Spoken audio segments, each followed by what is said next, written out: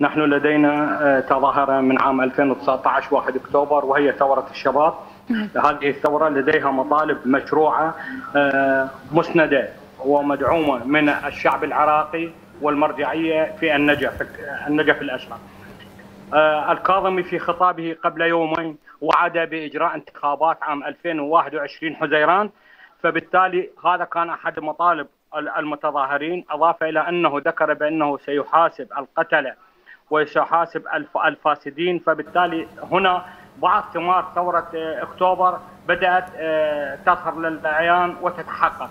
ولكن المشكلة سيدتي الكريمة لا يستطيع الكاظمي وحده العمل. يجب عن الكل المسؤولين في الدولة في الأحزاب أن يتكاتفوا مع الكاظمي لأن الكاظمي ليس لديه عصا سحرية. أنا ليس دفاعا عن الرجل ولكن أقول هنالك ثورة كبيرة بدأت من العام الماضي. ولديها مطالب. يجب أن تحقق هذه المطالب. هذا واحد. اثنين على الكتل المتنفذة. يجب أن تسعى بقدر الممكن بأن تبرز الهوية العراقية الهوية الوطنية فبالتالي الرجل أمام مشاكل كثيرة. نحن لدينا الآن مقاتلة داعش.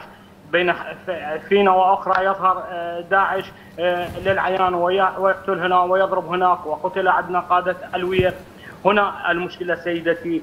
نريد رؤيه وطنية واضحة ولكن للأسف الكل يدلو بدلوه وبالتالي هنالك مشاكل المشاكل هنا يجب ان أن تحل بطريقة عقلانية وبطريقة الحكمة.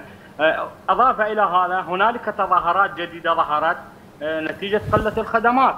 وهي تظاهرات الكهرباء. معقولة بلد نفطي يملك آلاف آلاف البراميل النفطية ويصدر إلى الخارج لا توجد كهرباء ولا ماء إذا هذه مشاكل الفساد هذا ما يريد ما يريد إصلاحه الشباب.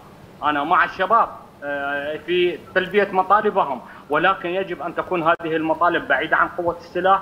بعيدة عن الاختطاف بعيدة عن القتل بعيدة عن الخطاب الطائفي. فبالتالي نبدأ لتحقيق دولة مدنية ذات مؤسسات.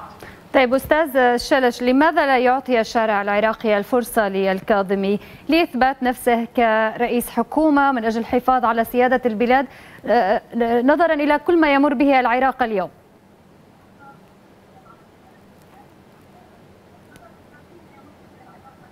نعم نعم. الشباب أنا أنت جناب الكريم قلت يعطي فرصة الكاظمي نعم هو الآن الشباب مع فرصة الكاظمي. يحاول يلاحظ ما يعمله الكاظمي، الكاظمي لديه التزامات كبيرة عليه أن يوحد العراق، أن يحافظ على سيادة العراق، فبالتالي هنا الآن الجماهير تنتظر ماذا ستتصوره الأيام القادمة، ولكن هنالك من يحاول من يحاول استغلال هذه الفترة لغرض لغرض وضع الغام في طريق الكاظمي ليحاول عرقله مسيرة الكاظمي يحاول إبعاد الكاظمي عن عن الأجواء التي تؤدي إلى حلحلة بعض المشاكل.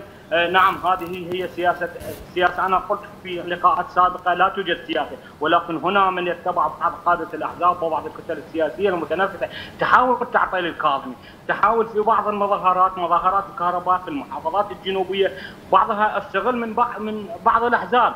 نعم من حق المتظاهر الكهرباء ومن حقه الماء ومن حقه التعيين ومن حقه العيش الكريم. ولكن الاستغلال الغير شريف والمال والمال الفاسد هو من دفع بالضعف تقديم هذه الخدمات. هنا أنا ليس واكرر مرة ثانية ليس مع الكاظمي وليس دفاعا عن الكاظمي أقول الكاظمي مضى عليه ثلاثة أشهر. آه الآن يدفع فاتورة آه الفساد فساد الحكومات السابقة. أنا أقول على الشباب تحية لكم. أبطال أنتم. بارك الله فيكم. نحن معكم.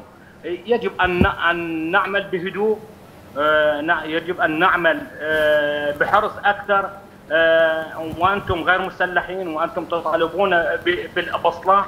نعم. نعمل أكثر أكثر لنفوت الفرصة على من يستغل الصيد في الماء العكر. نعم الأستاذ عبد الله شلش المحلل السياسي وصلت فكرتك كنت معي مباشرة من بغداد أتشكرك جزيل الشكر.